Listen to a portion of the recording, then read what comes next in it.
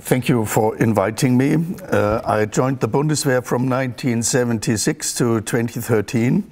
And in the year uh, uh, 2003, I refused to break the law that was ordered to me. Uh, there are, of course, several different perspectives. There is no singular assessment. I'm going to give you some important facts, and you have to decide yourself what results from that. But first, I want to explain why I do not follow the view of the German government. The German government says the states uh, doesn't, or all states don't make mistakes. And I think it's a big mistake to kill six million Jews or to wage any other war of aggression, even it's even if, if it's a state and not a singular person like Al Capone. So the criminal past of the German government and its armed forces must be taken into consideration.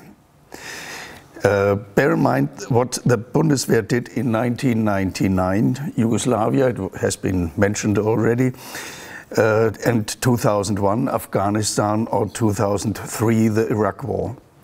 In 1999, the war against Yugoslavia was a clear violation of international law, as uh, the former German Chancellor Schröder confessed afterwards.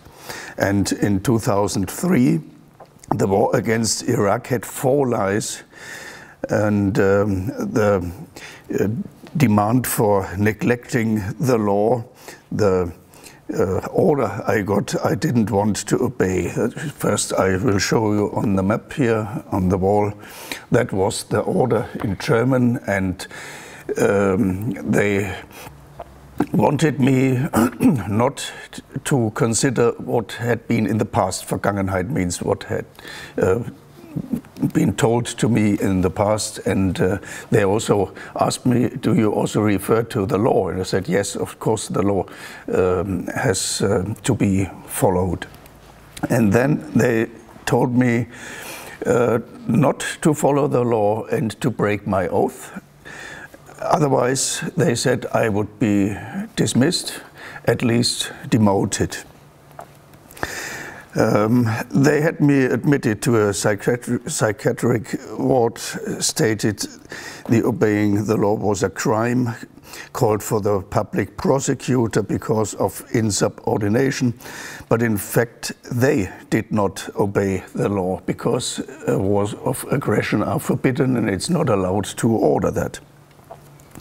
Then they demoted me from major to captain, and they didn't even respect the verdict because the next picture uh, I succeeded. the verdict was against them, and uh, they were not allowed to uh, to order that any longer. And um, the court said that they had to stick to the law, but then they again said they wrote it down in their password protected area that they will not follow these verdicts. That's at the bottom, other um, decisions of conscience with political background, they call it with political background, um, should be similar. And uh, to be functional, we have to uh, repeat the order and with, uh, with all means necessary um, state that they can do what they want. So um, I think that's the um, clear difference between armed heaps and an army inside a democracy. A normal army would uh, be bound to law and order and to the justice, but the Bundeswehr um, spoke out quite clearly against democracy. And I think they will always do. They did not apologize, and they, I, I, have never heard anything like we will not do it in the future. so maybe it's still their uh, view that they can do that against the law. So I call them criminals, and uh, I mean all of them who are in favor of war uh, that is illegal and um, immoral. Not only the Bundeswehr, also the parliament, the officials who uh, decided to support the Iraq war. Second, there is no independent media in Germany. For example, the just mentioned U-turn from armed forces inside a democracy to an armed heap. Turning down democracy was nearly never mentioned in TV, radio, or mainstream press. In 1999 and 2003, the lies with which the aggression, aggression uh, was justified, the lies were spread, uh, uh, for example, the um, um, alleged horseshoe plan 1999 or the Holocaust 1999 or in 2003 the nuclear weapons, biologic weapons, chemical weapons, everything was wrong. And then they decided to take the fourth lie, and still we hear that today what George Tenet, the former CIA or at that time CIA director, denied that it was no war on terror. Saddam Hussein, George Tenet said, had nothing to do with 9 11 and nothing with Al Qaeda. But on television, you could always see, with any transmission, the bottom line war on terror. Even after George Tenet made clear that that's not true and um, um, yeah, I don't know why, but that was always on television, could always be seen. Now, third to the war in Ukraine. Many facts are not only withheld, but even regularly reversed. For example, in Mariupol, it was stated that the Russians hold civilians as human shields, but the witness told the opposite. Не могли уже все, уже не пускали. Видимо, я так подозреваю, что они уже пришли с целью того, что мы здесь за мир. Uh, I cut a little bit of the time so we can discuss more. The same was in Bucha. Uh, in Bucha, the television told us the Russians made a massacre. So I will just uh, play that in German. Fassungslosigkeit und Abscheu. Das waren die Reaktionen auf die Nachrichten und Bilder aus der ukrainischen Stadt Butscha. Die USA haben angekündigt, Beweise für Kriegsverbrechen und möglicherweise einen Völkermord zu sammeln. Die ersten Bilder aus Butscha wurden vom ukrainischen Verteidigungsministerium zur Verfügung gestellt, aber mittlerweile haben sich unabhängige Journalisten, auch unsere Korrespondentin Katrin Eigendorf selbst in Butscha umgesehen. Und auch ich kann sagen, mein Eindruck dort vor Ort widerspricht ganz deutlich der Behauptung äh, des äh, russischen Außenministers Lavrov, dass es sich hier um eine Inszenierung handeln könnte. Das ist eine schlichtweg Lüge. For those who do not understand German, the television said Lavrov lied. It's uh, just a lie because the massacre is real and was not invented. So in our times with uh, internet, you can find proofs. Did the massacre happen or didn't it? And uh, I found uh, who you should believe is the mayor of Bucha. Some days ago, he um, presented a video and uh, he was very glad to report that they have um, prevailed, the Russians are no longer there. Now, in our times, you can uh, see whether that's true, and let's take a look, let's have a look at that video.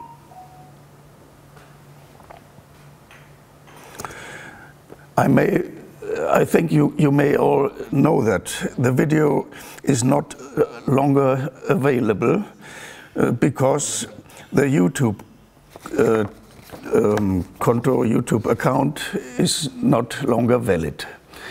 But I know, I, I knew before that also our internet is castrated, so I uh, recorded the video and I can present you the beginning. That's the mayor of Bucha. Дорогі друзі, шановна Бучанська громада, 31 березня віддав історію And нашого so on, I населеного also пункту cut the всієї video. територіальної You see, громади, як he's день smiling, there звільнення is no від single російських victim орків, in the від video. російських окупантів нашими збройними силами України, наших населених пунктів. And the same is in the next proof. Und da schreibt Hermann Plopper folgendes. I shorten it also. uh, complices of Russian forces. Also, Azov-Bataillone und ukrainische Polizei haben die Stadt Butscha von russenfreundlichen Saboteuren und Komplizen gereinigt. Das klingt sehr, sehr seltsam. Was meinen die mit Reinigung? So that was only the proof that there was someone who made the victims, the, the bodies. But there is also. Hier starten die Herren eine Drohne und äh, verschaffen sich eine Übersicht von oben. Spätestens da hätte man sehen müssen, dass da irgendwo Leichen rumliegen. Und zwar massiv Leichen rumliegen. Ähm, das wird in diesem Video nicht gezeigt und es wird auch mit keinem Wort erwähnt. Und dann frage ich mich doch, ähm, wie kann das sein? Also wir gucken uns nochmal an, von wann ist denn dieses Video? Dieses Video ist vom 2.4.2022. That was the video of the Ukrainian police. If you are interested, I can give you the whole video. Also, in the video of the Ukrainian police, you cannot see a single victim. So it's um, clear that all the victims uh, were shot after or killed after or from since the 2nd of April and not before. But the Russians were out at end of March. So it's very clear that the television even lied or was wrong, but they don't correct it. And then I say, if they don't correct it, and if, if they had told that it was the Russians, that's done by their own will. That's, that's not an accident. They want to lie at us. And also the st- statements of George Friedman, The primordial interest of the United States, over which for a century we have fought wars, the First, Second Cold War, has been the relationship between Germany and Russia, because united they are the only force that could threaten us, and to make sure that that doesn't happen. William Burns, Mark Milley, Jens Stoltenberg. Nearly nobody in Germany knows the statements because that would make clear why there is war in Ukraine. Nor that there had been a civil war since, 19, uh, since 2014, before Russia escalated, what uh, just Ray McGovern had told, and especially that the war would already be over if Boris Johnson hadn't had not intervened. That's all not mentioned.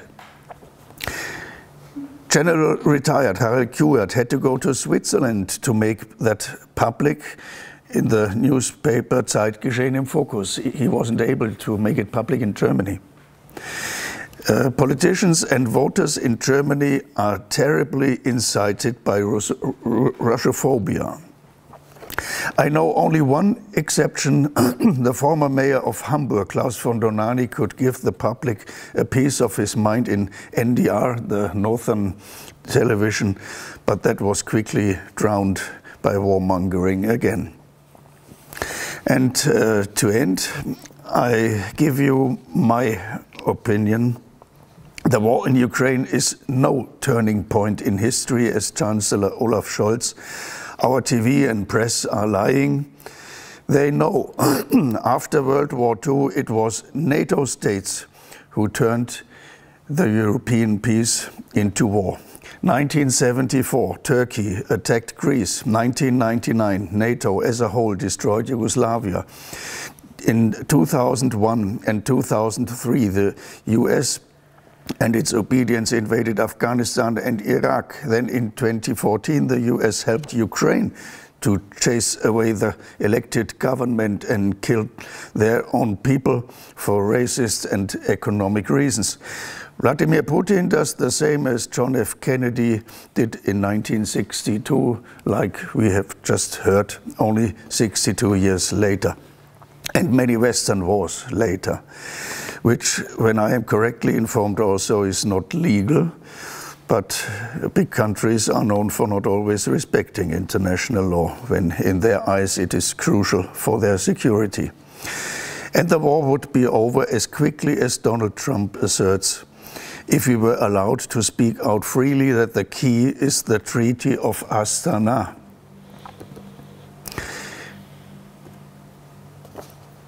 Here at the wall. But Joe Biden does not know that contract or is not willing to respect it.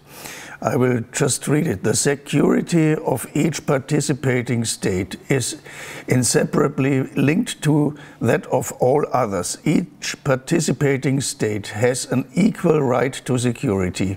We reaffirm the inherent right of each and every participating state to be free to choose or change its security arrangement, including treaties of alliance as they evolve. Each state has also the right to neutrality. And there is the cut in German television and German newspaper. You will not read the next sentence. That is, each participating state will respect the rights of all others in these regards. They will not strengthen their security at the expense of the security of other states. That's very clear. Ukraine could have made uh, an alliance with the Philippines or with whomever, but not extend NATO because Russia had made clear that that's against their uh, interests, their legal interests, security interests. Our media seem to believe that it is best not to know that Ukraine had obliged in 2010 not to join NATO against the vital interests of Russia. And I fear still today that it's not good for your career to know the truth and speak out plain text. But I prefer to stick to international law and may and uh, my um, oath and to my oath rather than having uh,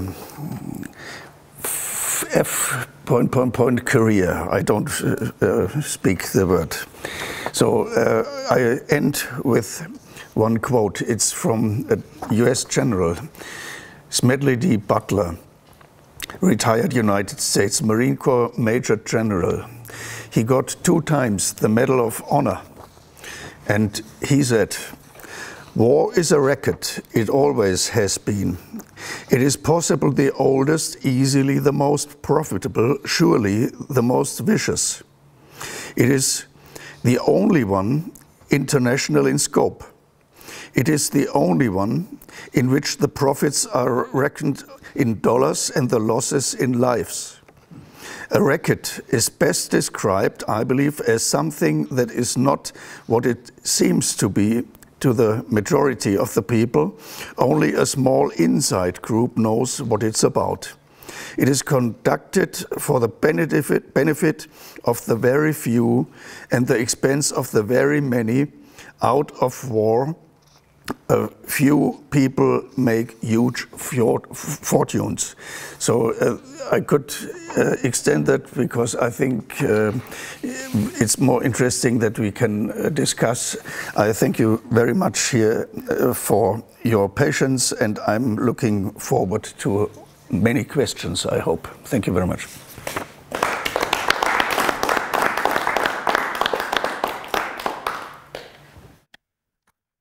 So, questions, remarks? Peter. Peter?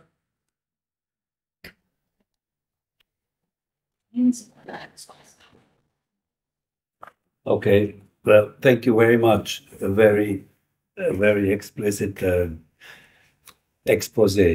Uh, my question is actually indirectly linked to it, and it's linked to Germany. Germany still doesn't have a, a peace agreement with the United States, with the with the Allied forces, and therefore I understand uh, this agreement, which is a an armistice equivalent to an armistice agreement, has certain conditions. And one of these conditions, I understand, is that Germany should never do anything that goes against the grains or against the interests of the United States. And therefore, uh, this is the explanation why Germany acts like a like a puppet to uh, to the U.S. to the U.S. orders. And since Germany is the leader of the, of the European Union, so to speak, at least economically, the whole European Union sort of follows the same the, the, the same uh, uh, trend. Now, to how uh, how can you comment on that? Uh, I saw this in in Berlin in the in the War Museum. This was very clearly explained. But the consequences is uh, why 60 years after, more 80 years after this war, uh, still no German chancellor or German president has had the guts to say, no, stop. Uh, we are a sovereign country. We go our own way. Uh, why is that, has that not happened so far? Well, it's true that we have no peace uh, contract, but we have something similar. Uh, it's not called peace contract uh, because you um, would have to pay reparations. Uh, that's written in the um, um, Waffenstillstand. Ceasefire. Ceasefire. Thank you. In the ceasefire contract. So they called it two plus four contract. Abschließende Regelung in Bezug auf Deutschland. That means final regulation. So that's exactly uh, the end of war, but not called peace because of monetary uh, reasons. So uh, on the on the paper, Germany now is independent. Germany has got sovereignty with the two plus four contract, but uh, you are right, we don't have it in reality.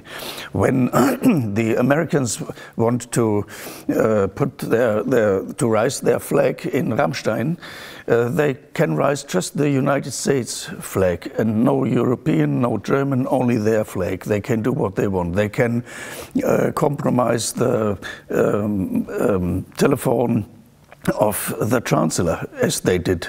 They can do what they want. They can uh, blow up our pipeline, and uh, the chancellor has to uh, stand. Chancellor knew about it. Yeah, uh, Scholz, yes, has to stand there and, and say, uh, yes, yes, yes, you can do it. I, I don't say anything against that. so um, I think the only way out is that the, the normal people will know what's going on, that we are puppets, that they know we are not free in reality, and uh, that they know that that's not legal. We, we are sovereign. Germany is sovereign. So we could, as one politician uh, said, uh, have uh, forbidden the United States to use Germany for the Iraq war. But he said it only once uh, like Chancellor Schröder, they, he said uh, such things with uh, such adventures with uh, force and um, brutality uh, you cannot make with us. And then he was invited to the United States and there was an um, um, exchange of um, opinion and with the exchanged opinion he came back uh, unlimited solidarity with the United States. So they have the power and the people must know. Uh, he was threatened actually. Uh, yes. With this letter. You, and we came back and bent over. We we know that uh, it can happen like uh, Haider or Möllemann or Barschel. They are all dead now, yes. and everyone knows it. Yes. Now, uh, if I just may pick on that because it has all to do with this with this war. You know the the BITS, the the Bank for International Settlement was was created in 1932 or 31 or 32. 30. Actually, 1930. Hmm. 1930. 31, I think. So, Well, uh, uh, 30 or 31. for uh, the uh, for the German debt settlement after the second after the First World War. But Germany actually paid altogether about 20% of all the debt that they would have had to pay for both wars. You know, this, uh, so this, this was already known at that time because Germany was actually acting for the United States to fight, as somebody else uh, presented this morning, uh, to, to fight against the Soviet Union. That this, this was the purpose all the time of, of, these, of these world wars. And the bank was actually set up uh, already in, in, in the early 30s to, to finance the next German government to fight against Russia again. And that's, that has exactly happened. Uh, you know, the money was transferred. The first president of the Federal Reserve of, of, uh, of the BIS was a, a, a, deputy chairman of, of the Federal Reserve. I forgot his name. And the money was transferred in suitcases, and the, the, the, the, the, BIS is about less than a kilometer away from the from the border to Germany. The money was just transferred across the border to the to the, to the Reichsbank to finance Hitler, and so did many other uh, oil companies, for example, financed energy for uh, for for Hitler. So Hitler did the job for the United States. Again, it was a proxy war against the the the, the, the, the Soviet Union at the time, and and therefore what what has happened in the meantime, this this bank is of international settlement, is a, a, privately owned bank by the Rothschild family, and and it is absolutely secret. Uh, but we have to know, and I think that's what most people don't know, is that currently they control more than 90% of the worldwide monetary flow. So basically, all, I think, an exception of maybe five or six or seven small central banks are not under the control of the BIS. Everybody else is, even China. Since two or three years, China, China's central bank is also part of the of the Bank for International Settlement. So basically, also uh, controlled by them. In other words, they, as long as we are under this monetary system, which uh, which is linked to to BlackRock, they can do whatever they want. And I think China and Russia has realized that, and they, there's a big effort going on of de-dollarizing, because if you look at the at the monetary flow, I'm sorry if I'm too long, but I think this is something which is very important that most people don't don't know. If you look at the monetary flow, what we used to call convertible currencies, of the converter, so-called convertible currencies, uh, the dollar has about 60%, is flooding the market with 60%. Granted, it's still pro forma the largest economy, but China, which is in some ways even larger than the larger economy than, than in PPP terms, it's the larger economy than the United States, the second largest. They only have five, but less than 5% of the monetary flow, the international monetary flow. That tells you how much the uh, uh, the dollar is backed by nothing. Actually, it's less than, than hot air, and uh, and but it's still it's dominating. And with that domination, which came about when the when the when the uh, uh, when the dollar uh, gold parity was resolved, automatically the the dollar became the gold standard. And then that then that, that meant because everybody needed reserves, gold reserves, they got uh, dollar reserves. The Federal Reserve was at that time able to print as many dollars as they needed, as the world needed.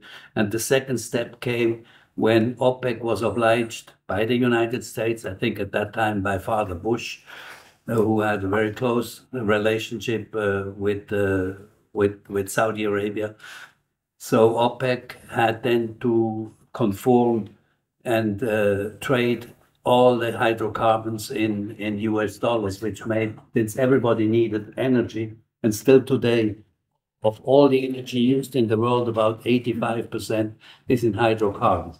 So everybody needs dollars to pay for these hydrocarbons. This is, this is lessening now, But that has allowed the United States to actually flood the, the, monetary market with 60%. And it's uh, very difficult. So we have to get out of that. And all of it is controlled by the Bank for International Settlement.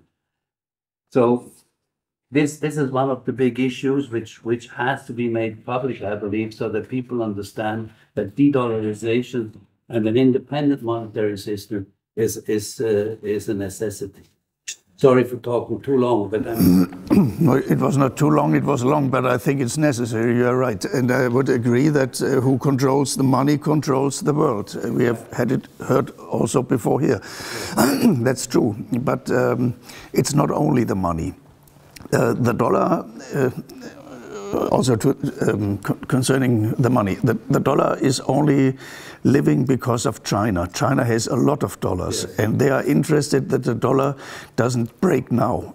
So uh, the United States is in danger to be um, blackmailed by China, and uh, I see not only the the de-dollarization between Saudi Arabia and uh, Russia and China, but also the danger that the dollar could break overnight if the Chinese uh, liked to do that.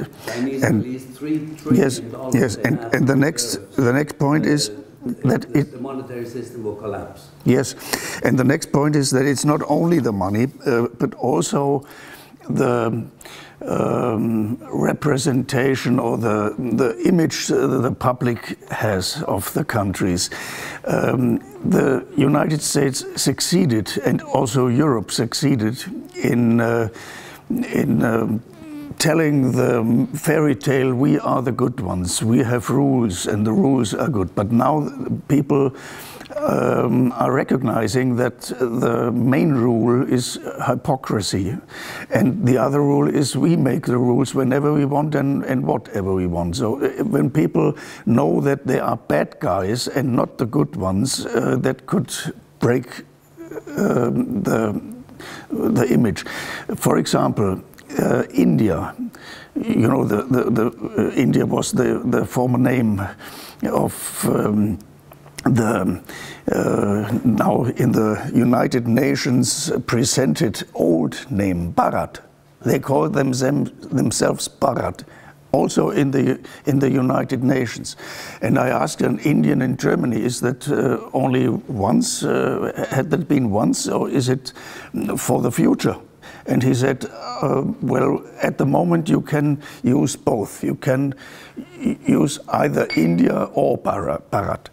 So I think that's a sign that the uh, states wake up and say, we are no longer your uh, subordinates. We are no longer uh, your uh, slaves. Yes, exactly, slaves. And, and uh, I think that is the greater danger for the United States that the people see that the image is wrong and that uh, the rest of the world is against them because the, the good world is only altogether with, with Europe, with NATO, uh, the United States have about 15% of population and 85% uh, are on the other side. And they already know that it's only lies and nothing is true and it's only warmongering. And that is more dangerous than the money, I think. That's probably true. You're very, very right. Now you can see that you, you say people are waking up, countries are waking up, and I think these past elections for the European Parliament oh, a huge wake up call. Yes. And it, it, it shows that the people are really uh, on the ball, and, uh, and the United States know that. So they're, they're trying to pull down into the abyss as many people, as many infrastructures, as many countries that they can before they collapse. Uh, and we have to avoid that. Yes, you're right. 5% increase in AfD and 6% yes. BSW, so that's a clear uh, sign. Clear, clear statement. Clear thank statement. You, thank you very much. You're welcome. Very short, very short. Just one more minute. No. Uh, at first, I want uh, say uh, say you thank you. You're handling this uh, difficult, uh, uh, really strange story uh, Bucha European. You know, um, we don't have till now no one source where we can see who was killed by name, how the people was killed. We don't know. We, we heard about the numbers of uh, killed people, but we don't know who these people, how. And um, it's um, one, one, one, one story. Uh, Irene Kälin, uh, the Green uh, MP of Swiss Parliament. She was last year, or yeah, last year she was a president of Nationalrat, a big chamber of Swiss Parliament. She was uh, visited Irpin, and she told direct to the camera of Tagesschau. I'm wondering how less houses are destroyed in this Irpin. It's so pretty quartier here. Uh-huh. You you will find now in archive of SRF this speech. Anymore. No, no, anymore. Just because is a, is a, is a sentence that not um, fits to the big, big, big, big story, yeah, narrative. And at the last, nasty side of this war, Russia pumps the natural gas to NATO countries and pay every month to Volodymyr Zelensky with the dollars. Volodymyr Zelensky buy drones and send them to the Russian soldiers. That's nasty side of this war. It's not a war, it's a business project. Yeah. I can show you the pictures of the killed ones in Bucha. Es gibt eine weitere Fragestellung zu den Leichen, die sehr, sehr ähm, interessant ist. Und zwar, wenn wir uns die, diese Fotos mal genauer anschauen, sehen wir, dass bei den Leichen ständig Care-Pakete gefunden wurden, also medizinische Ausrüstung und äh, Verpflegungsausrüstung, die offensichtlich von den russischen Einheiten geliefert wurden. Also die Russen haben Hilfspakete geliefert an die Bevölkerung und ganz viele von den erschossenen Leuten hatten diese Hilfspakete dabei. So what he is saying is, we see that many of the, pe the people who have been killed had got care packages from the Russians.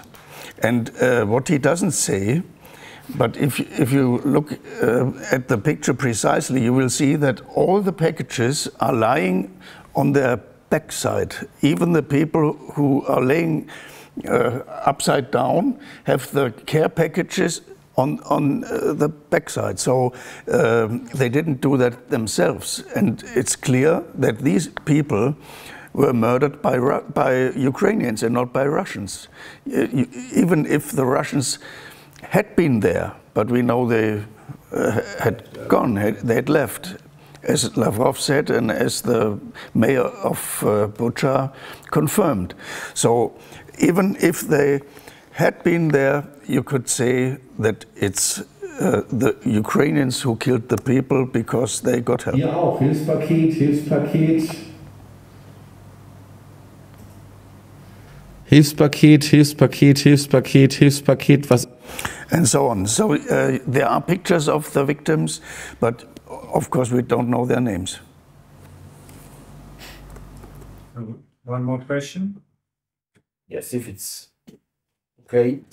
Also, I also would like to join Mr. Alexander to thank you very much for stating your strong personal values.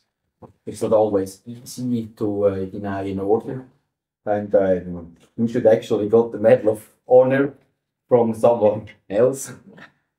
I think we have to uh, do that later, and then from a Swiss point of view, I always make sure I'm Swiss and the German even band sounds like German. But we have been in uh, Ramstein once with the Freedom Bell Ringers from Switzerland, four guys, even Wolf was there too. And then I realized these uh, police guys from Germany were uh, follow us. And then when we came to the border where this Ramstein territory starts, these guys just stay behind. And then we're walking uh, further and further, and these uh, US guys, GIs or whatever, uh, had a close eye on us.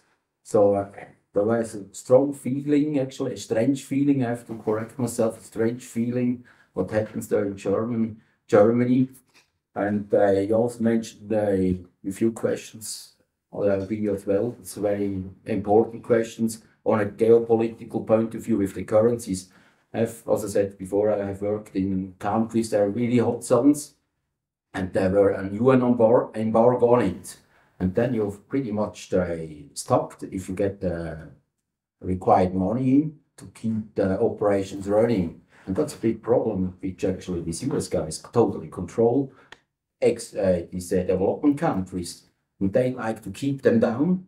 As uh, uh, somebody said before, they keep the Russians out of Europe. And in the developing countries where there's big potential because of the resources of the, of the human power, manpower, they just keep them down better lower than they're already down there. And that doesn't make sense to me. So my question on you, with your experience on a military point of view, is what can we do in Switzerland? I mean, neutrality pretty much went down the toilet with our political idiots. I stated these words. I'm looking forward to get some some uh, nice letters from them again. And uh, the question is how what we can do in Switzerland. Okay, I think you should only do things with which you feel well. When you say, I feel good, then it's the right thing to do. For me, it's good to tell all people to uh, hold speeches, to uh, take part in conferences like that. For example, last two weeks I was in uh, uh 12 cities all over Germany, West and East Germany, for the um, EU um, election to promote that. Uh, it didn't work, uh, but um, the people must know. If you tell your neighbors, my neighbors all know what's going on. If you tell your neighbors and they will tell uh, their neighbors, I think it's good if you have the proof. So um, I would recommend for the Germans the, um, the, the proof which can be found in internet. You have to put in two words, Vortrag and Pfaff. Vortrag, like presentation, and Pfaff, P-F-A-F-F, and you will find the presentation of Greifswald. And there I have one hour with all the proof inside. And if you give that to someone who says that's not true, that's impossible, then he has the facts. You, you have to spread the facts. And you can do it yourself or you can sh show uh, it in the internet. I think the, the social media is the big advantage we have because when the church was wrong and very, very mighty, uh, Gutenberg came and invent, invented the book. And after the books went around, the power of the church disappeared. Now we have the social media and they destroy the unsocial media. That's a big advantage.